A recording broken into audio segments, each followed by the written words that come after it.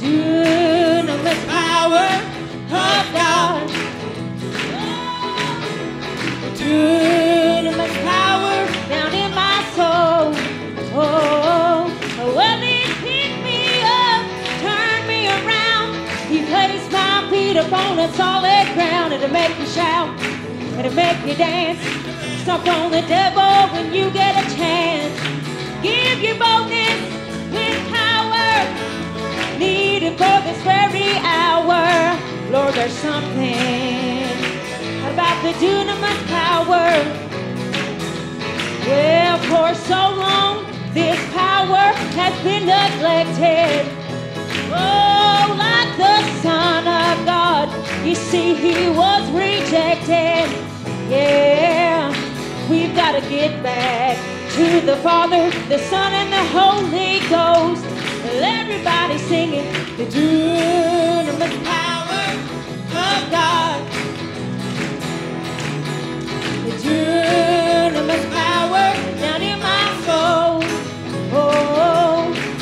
Oh, there's something about the dunamis power.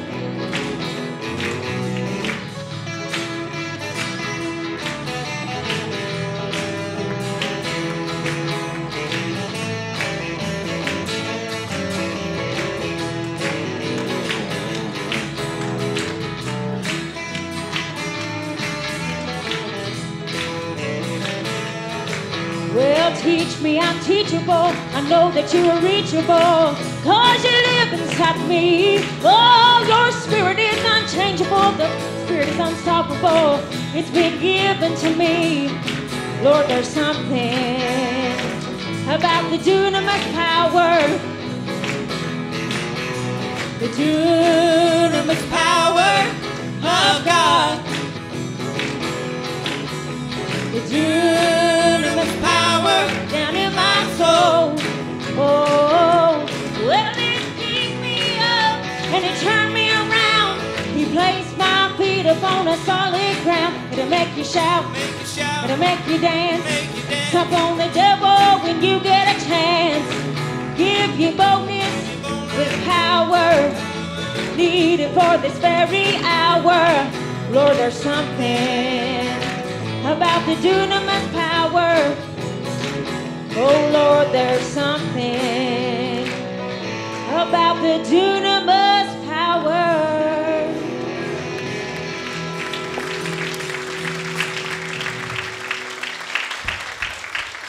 All right. Give the Lord another big hand clap. Thank God. Amen. Thank God. Amen. Paul wrote to somebody in a church once and he said, I don't want to know your words, said I want to know your power. Amen. And you know, there's a lot of people that boast about a lot of things that can't produce, but I'm telling you one thing we're serving a God that can, will, and does produce. Amen. Thank God forever. And I appreciate the goodness of God. And, uh, and Paul, uh, he said something else that reminded me of what Jessica was talking about. In the book, book of Philippians, Paul said that I might know him. Amen. That I might know him. Every one of us, probably that from the, uh, the farthest back of our memory, we, we, uh, we knew about God. We knew about God like we know about Abraham Lincoln and uh, Gettysburg Address, but we don't know Abraham Lincoln, amen. But, but Paul said that I might know him. Philippians chapter 2, 3, that I might know him and the power of his resurrection, amen, being made conformable unto his death, amen. Well, I want you to know something today. We can know the Lord, amen. And, and the Bible says not only uh, that we can know him, but we are known of him. God knows us, amen. Now, last Sunday, I made a statement that I was going to be speaking today on the second coming of Christ, and that's what we're going to be speaking on. And, and I'll be honest with you, and this ain't no ploy to try to get you to come back to church next Sunday. If it worked, I'd do it, amen, because I want you to come to church for your benefit as well as us, amen. But I can't finish this today. The truth of the matter is, so I'm going to preach two parts of this message, amen, starting today, and we will finish it, Lord willing, next Sunday, amen. There's just a, amount of, uh, a great uh, uh, amount of information on this. I'm one of those preachers that believe that uh, uh, we're living in the generation that most likely, now I don't know this, I don't know this, and I want you to hear it, but man, I'm just telling you, the Lord's coming, amen. And if it's a thousand years from now, he's still coming. If it's uh, 10 minutes from now, he is coming. Amen. And before this service is over with, I'm telling you right now, there's going to be a lot of people that's going to meet the Lord. Amen. They didn't, when they got up this morning, they didn't know they was going to meet the Lord. Amen. They didn't know they was going to fall into the hands of the living God, but they will, and some of them already has. Amen. But my heart's desire and prayer is today that if you come into this building lost and unprepared for eternity, that you'd meet the Lord today, right here. Amen. And you can. Praise God. He's in our midst. And that being said, I want you to stand to reverence the reading of the, God's Word. Turn in your Bibles to 2 Peter chapter 3, verses 3 through 9. 2 Peter chapter 3, verses 3 through 9. There's two things that I want to do here today. I want to bring honor to God because He's worthy, and I want to teach you the Word of God because you need it. And the Bible says in 2 Peter chapter 3, verse 3, it says, Knowing this first, that there shall come in the last days scoffers, that means walk mockers walking after their own lust or what's going to dictate the way they live their life is, is what I want to do. It's all about me. And it says, and they're going to say some stuff. And these scoffers that's going to be mocking God in the life that they live, it says, and saying, Where is the promise of His coming? I want you to remember what they're going to say because that's the subject that we're going to be talking about. They're going to say, Where is the promise of His coming? For since the fathers fell asleep, all things continue as they were from the beginning of the creation. And I want to say, Really? Because I'm going to tell you, church, uh, in my short span of life that I've lived on planet Earth, there's been a lot of change. Amen. There's a lot of things different right now than what they were when I was a teenager. Amen. The, the, the meanest things that we did when I was a teenager, you would seem like a pretty good young man right now doing the same thing. Amen. Things are not the same. Amen. And the Bible says, For this they willingly are ignorant of. They're willingly ignorant of the fact that things has really changed. Amen. And it says they're willingly ignorant of that by the word of God the heavens were of old, and the earth standing out of the water and in the water, whereby the world that then was, being overflowed with water, perished. But the heavens and the earth, which are now, by the same word, are kept in store, reserved unto fire against the day of judgment and perdition or destruction of ungodly men. But, beloved, be not ignorant of this one thing that one day is with the Lord as a thousand years, and a thousand years as a day. The Lord is not slack, lazy, or negligent concerning uh, His promise, as some men count slackness, but is long suffering uh, to usward not willing. Uh, everybody that dies and goes to hell goes over the will of God to get there because the Bible is going to tell us in verse 9 that God is not willing that any should perish, uh, but that all should come to repentance. Amen. Let us pray, Father, as we humbly come into your presence now. I ask God, your humble servant, ask God that you would help me, Lord, uh, amen, to teach this judgment bound congregation uh, the precepts of the Word uh, of the living God under the inspiration, the anointing, and the power of your Spirit. We pray that everything, God, that happens here will be ordained of you, that you would touch hearts and change lives. Uh, God, that you would rekindle, oh fires, that backsliders would find their way home. Amen. And that the lost souls that are here today would have a repentant heart towards you. And God of heaven will never fail to give you praise, honor, and glory. For we ask it all in the name of Jesus. And let the church of the living God shout, Amen. While you're being seated now, all of the building, uh, we're going to use for a thought out of verse 4 where the Bible says, uh, Amen, where is the promise? Amen.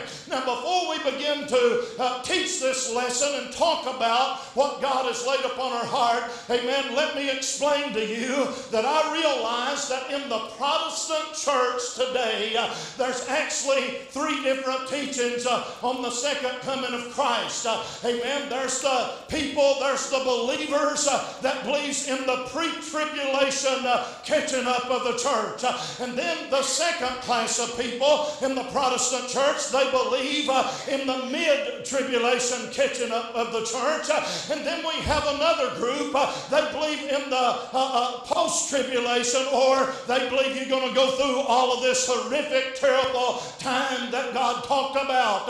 I did not come into this church today to debate or to argue you which one of these uh, thoughts are, is right. Uh, whether you pre-trib, mid-trib, uh, or post-trib, uh, that's not what I'm here to talk about. Uh, I'm here to talk about one subject uh, that all the churches in America, amen, agrees on, uh, and that is Jesus Christ uh, is coming again. It makes not too much difference, uh, amen, when he comes. Uh, what is important uh, is being ready when he does come. Amen. Hallelujah to God forever. Now, that being said, I want to say this. The Bible tells us, and I'm a preacher that reads many, many translations of the Bible, and one of my favorite translations uh, is the Beck translation. And the Beck translation, uh, amen, in 2 Peter 3 and verse 4, it says that they're going to say, He promised to come what has happened. That's sort of the mentality and the attitude of many today. They've got the attitude, we know that Jesus said He's coming, something must have happened. I'm going to tell you something, church, nothing has happened. We're serving a God of order, and this God of order has got a plan, and that plan will be unfolded and revealed to. Uh, And the reason that I'm here today is because God said there's some things for us to look for 24, amen, just prior to the coming of Jesus Christ, the Son of God. In Matthew chapter 24, verses 36 and 37, Jesus said, But of that day and hour knoweth no man, no, not the angels of heaven, but my Father only. I'm telling you right now, nothing has happened to delay the coming of Christ. Brother, the Father knows when He's going to say to the Son, Go bring my children home.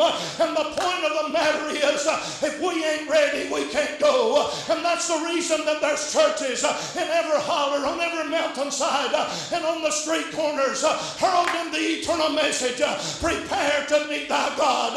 I'm telling you, the Lord Jesus Christ is coming, and we're every one on a head on collision course with the master of the universe. Give him praise and glory in the house of God today. And the Bible says in verse 30, uh, uh, verse 37, uh, it says, but, of the, but as the days of Noah were, so shall also the coming of the Son of Man be.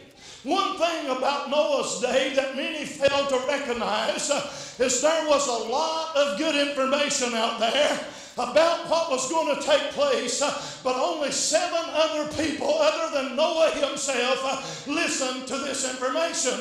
Amen. Second Peter 2 and verse 5, the Bible tells us uh, that God spared not the old world. That's what we just read about in 2 Peter chapter 3. How that the old world being overflowed with water perished. Amen. And God spared not the old world, but saved Noah, a preacher of righteousness, the eighth person, bringing in the flood upon the world of the ungodly. What the Master is saying, the very generation that I'm coming back in is going to be like Noah's. Amen. There was a lot of stuff going on in Noah's day. Here we have this preacher that's heralding uh, the warning uh, there's coming a flood. The impending judgment of God is coming. I'm building an ark, amen. I'm building this great, massive structure that if you'll get in it, uh, amen, you'll be spared and will not perish. Uh, but nobody listen, church, uh, amen, on every street corner, on every radio station, on a multitude of TV stations, the Word of God is going forth. We're living in the last days. God is coming. And then God gives us some signs, or if you will, indicators. That's all a sign is. A red light is a sign that says you better stop. Amen. In Matthew 24, verse 38 and 9, Jesus said, For as the days that were before the flood, they were eating, drinking, marrying, uh, giving in marriage, amen, life as usual, amen, just partying and, uh, and festivity and celebrating uh, and tying the knot and all this stuff. And it says, until, amen, something's going to change until the day that Noah entered into the ark. And the Bible says, and knew not, amen. But I beg to differ with that uh, translation. That word knew not actually means uh, to believe not. Because in 2 Peter chapter 2 and verse 5, the Bible said that Noah was a preacher of righteousness. He preached the eternal truths of the living God to that sin cursed world and telling them, look, you better get in the boat. If you don't get in the ark, you're going to drown in the flood. I come here today to tell you, church, you better get in, amen. You better get saved.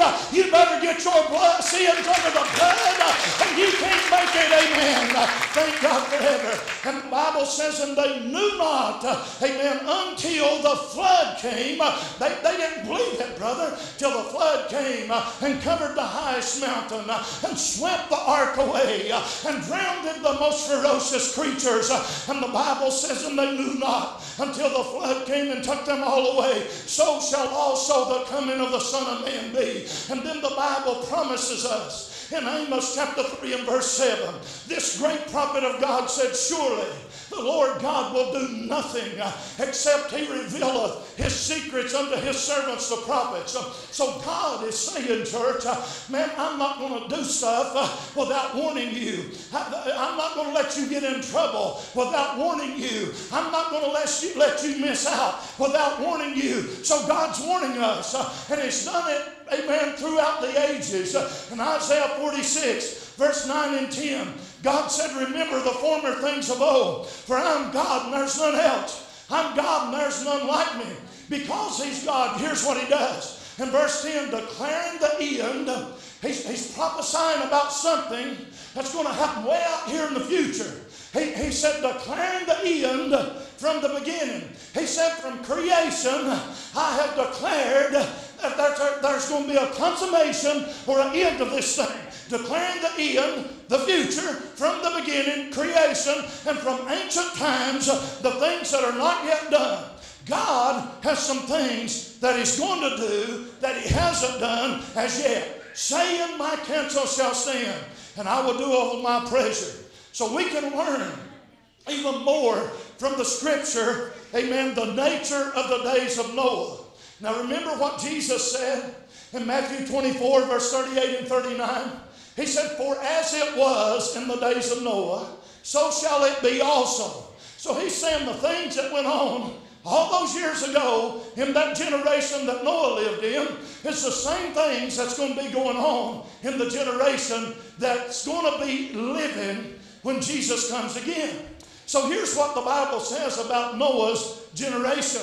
In Genesis 6 and verse 5, it says, And God saw. I'm going to tell you something, church. God sees the corruption that's in Washington. He knows the dishonesty that's in Frankfort. He knows the things that's happening in eastern Kentucky, amen, and around the world. And the Bible says, And God saw that the wickedness of man was great in the earth, and that every imagination of the thoughts of his heart was only evil continually. In verse 11 of that same chapter 6, uh, it says, The earth was corrupt before God, and the earth was filled with violence. So let's talk about that just a minute. Because this is the signs, or if you will, the indicators that God said would be indicating that we're living in the last days just prior to the coming of Christ. So we see here, number one, that wickedness was great that every imagination of man's heart was evil, that corruption was everywhere, and violence filled the earth. One could not give a better description of the day and hour that we're living in. Amen. Let me say that again. God said that when Noah lived, there was wicked, great wickedness. Every imagination was evil. There was corruption everywhere, and violence filled the earth. Look at me, church of the living God. Is that not what's going on around the entire world today? And no matter what anybody says, it ain't like the, it wasn't like that used to. Amen. Let me go on. Now, to my utter amazement, even though Noah had the revelation of what was going to happen, the men of Noah's day were insensitive to the prophecies, the preaching, and the predicting uh, that Noah was telling them that was going to come and the flood of God's wrath and judgment. I hate to say that, but this same thing is true today. Men are blind to the indicators all around them uh, that is declaring that Jesus is soon coming. Amen. So I'm preaching on where is this, where is the promise? Listen, dear friend, Jesus talked about it, the promise of his coming. The apostles warned about the promise of his coming, and the prophets uh, predicted about it. We see Jesus saying in Matthew 23 and verse 13, He said, Watch therefore. That means because of this. For you know neither the day nor the hour wherein the Son of Man cometh. Job, the great patriarch of old, some scholars believe to be the oldest Bible book in the Bible. He said in the 25th verse of chapter 19 to the 27th verse, through his sickness and him thinking sure that sure and sudden death was coming upon him, he said, For I know that my Redeemer liveth. I know that my Redeemer liveth. I know that, church. And the Bible says, And that he shall stand this Redeemer, Jesus, at the latter day upon the earth. And though Job said, After my skin worms destroy this body, yet in my flesh shall I see God. Well, Revelation chapter 1 and verse 7 says that every eye shall behold him. Everybody's going to see him. everybody's going to bow to him and every tongue's going to confess to him. That's just a fact. And Job said, Whom I shall see for myself, and mine eyes shall behold, and not another, though my reins be consumed within me.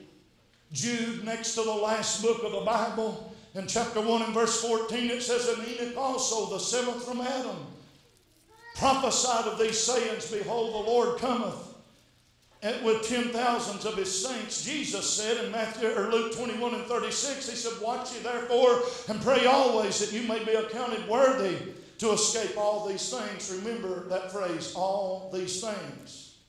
There's some things that's going to happen, church that shall come to pass and to stand before the Son of Man. So keep in mind that they phrase, these things, because we will be talking about them later. Because these things are the signs and the, if you will, the indicators that are clearly laid out in the Bible denoting the coming of Christ is near. And then after Jesus had lived and died and rose and showed himself through many infallible proofs 40 days and nights, Amen. He's took the disciples out onto the Mount of Olives to be ascended into glory where he sits at the right hand of God now.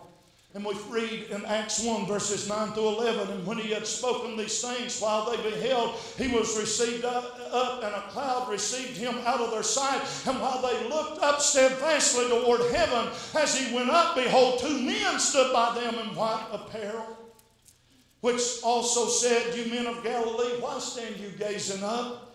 Into heaven, this same Jesus, which is taken up from you, shall come in like manner as you have seen him go into heaven. And now we hear the beloved apostle Paul saying in 1 Corinthians 10 and verse 11, Now all these things happened unto them for examples, and they're written for our admonition or warning, upon whom the ends of the world are come. I believe that we're living on the thresholds of the coming of Christ.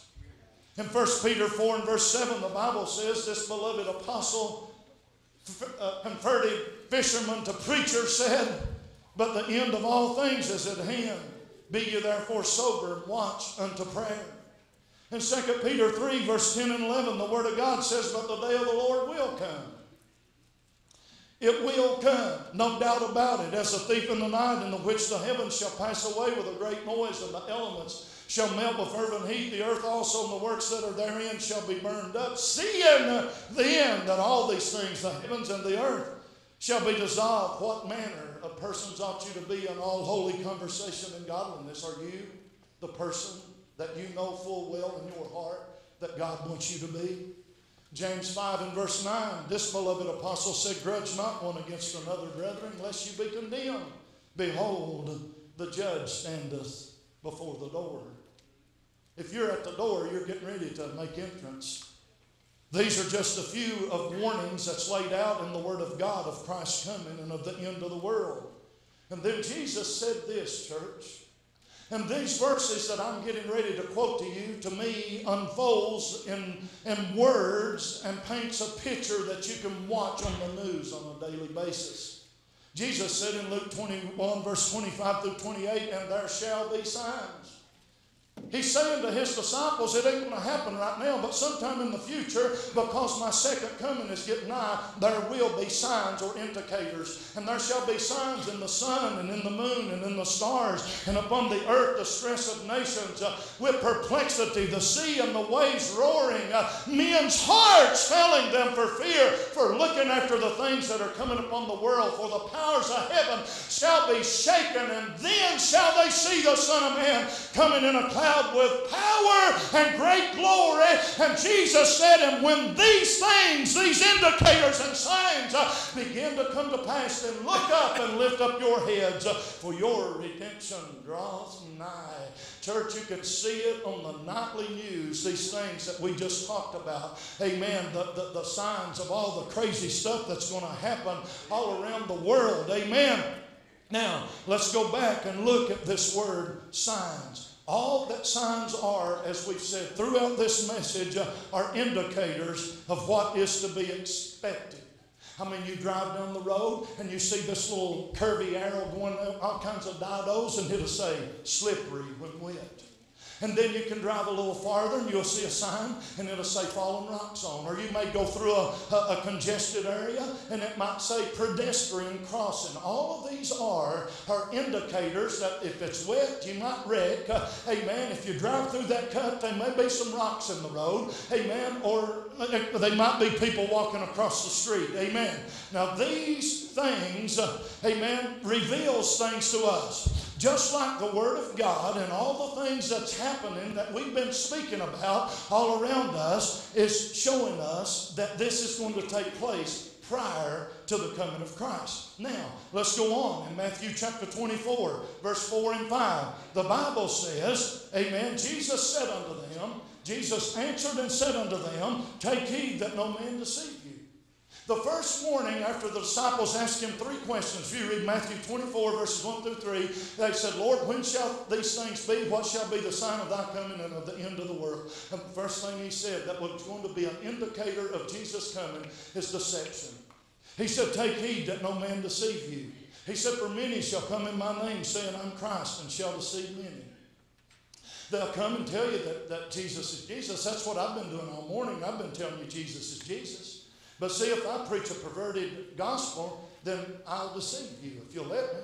The Bible says in Matthew 7 21 through 23, Not every one that saith, Lord, Lord, shall enter into the kingdom of heaven, but he that doeth the will of my Father that's in heaven. For in that day many will say, Lord, Lord, have we not prophesied or preached in thy name? And, and, and in thy name cast out devils, and in thy name done many wonderful works. And Jesus said, And then will I profess unto them, I never know knew you. Depart from me, ye that work iniquity. Listen, everything that squeals ain't a pig. I hear people talking all the time about miracles that ain't happening and great moves of God that ain't going on and everything else. That's who Jesus is talking about there. I'm not going to get up here and brag about something that I've not done. And besides that, if I do anything, I ain't done it anyway. He's done it. You understand what I'm saying? That's why the Bible says, boast not in yourself, but glory in the Lord. Give God the glory. And then Matthew 24 24 says, For there shall be false Christs. They're going to be people that will impersonate Jesus, like David Koresh and Jim Jones and all these people. For there shall rise false Christs and false prophets, and shall grow, show great signs and wonders, insomuch that if it were possible, they shall deceive the very elect. Matthew 24 11 says, And many false prophets shall arise and shall deceive many. Pray tell me, are we not the generation that's witnessing all these signs? Every one of them. The scripture warned of upheavals of nature. In Isaiah 51 and verse 6, it says, Lift up your eyes to the heavens and it says, And look upon the earth beneath. For the heavens shall vanish away like smoke, and the earth shall wax old like a garment. You know what happens when a garment gets old? It'll rip and tear. You'll bend over, and your knee will pop through your pant leg. That's the way the earth is doing today. It's ripping and tearing and shaking because of the upheavals of nature that God predicted through the prophets. He said, The earth will wax old like a garment, and they that dwell therein shall die in like manner. But my salvation shall be forever, and my righteousness shall not be abolished. Matthew 24, verses 6 through 8, Jesus said, And you shall hear of wars and rumors of wars. I mean, we hear about the mad dictator of North Korea that's threatening obliterating America and, and Japan and Hawaii and other places. Amen. We hear about the swords being rattled in Iran and Iraq, and how that we're going to drive Israel into the Mediterranean Sea. Everybody look at me. I'm telling you right now, they ain't nobody going to drive Israel into the sea. And that's just the truth about it. Everybody that sticks their finger in Israel's eye ends up destroyed. And the Bible says that Israel is the apple of mine eye. It says that in the book of Zechariah, and you don't go around poking your finger in God's eye. And the Bible says you'll hear of wars and rumors of wars. See that you be not troubled, for the end is not yet. It says, For all these things must come to pass, but the end is not yet. And then it says, For nation shall rise against nation, and kingdom against kingdom. And there shall be famines and pestilences and earthquakes in diverse places. Now, I want to explain that to you because I've read that and read that and read that, and I, I, I it, it didn't make a lot of sense to me, some of it. And I've learned by experience when I'm reading something and it's like this prompting in my heart keeps saying, Gary, there's more there. You need to search and dig. And I've got to look in these words up. And I looked this word up, nation.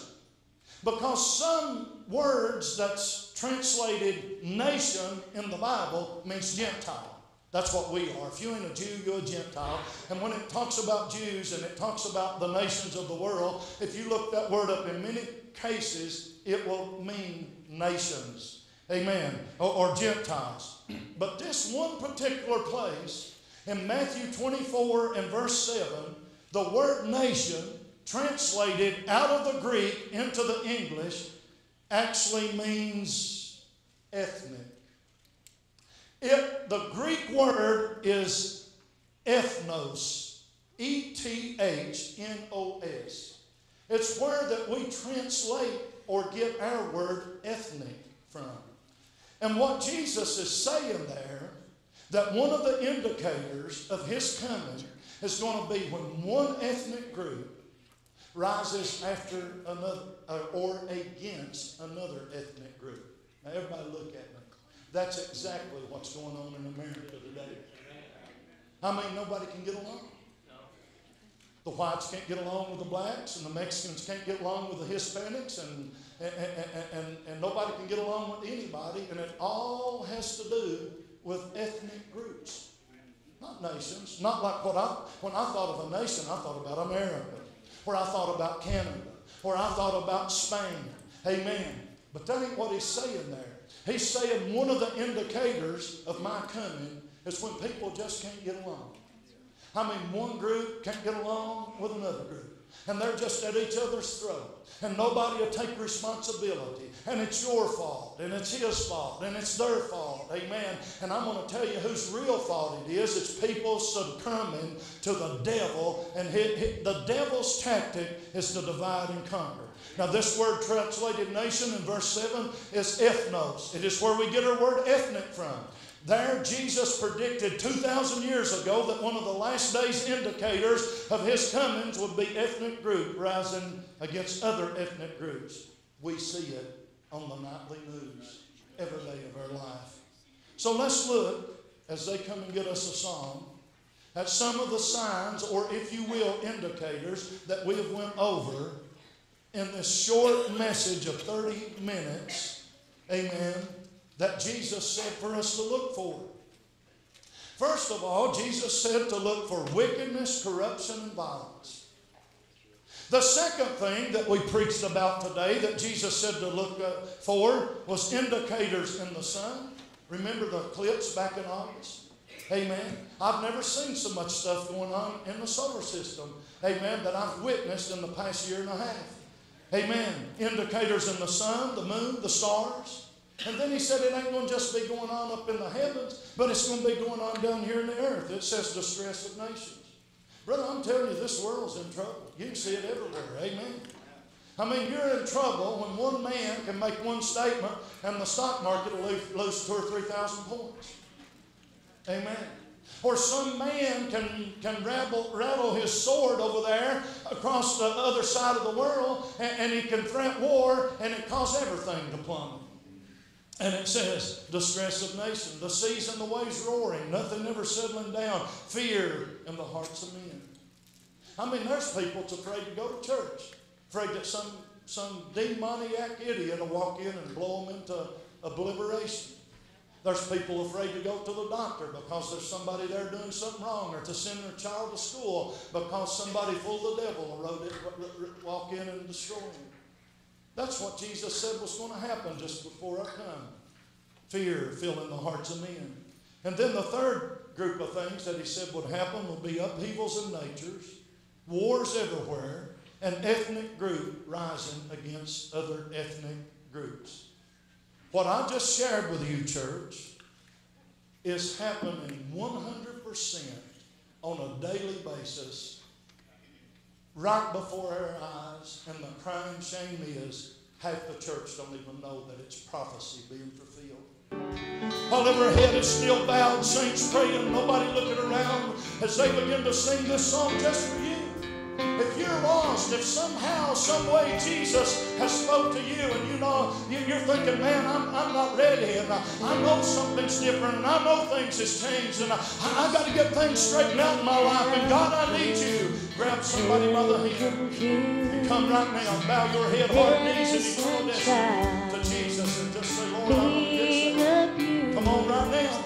There's somebody, Hear that somebody out there whose Hear heart that person. You is know, breaking. what are you going to do with Jesus? What are you going to do with Jesus? That devil will tell you I'm too old or too young or too bad.